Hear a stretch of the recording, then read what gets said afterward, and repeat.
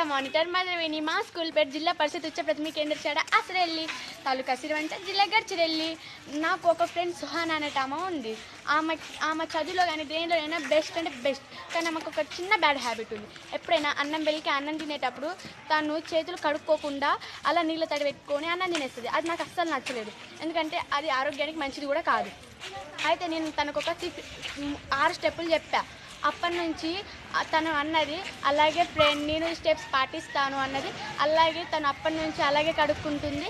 ఇంకా నాకు కూడా చాలా మంచిగా అనిపిస్తుంది. Less change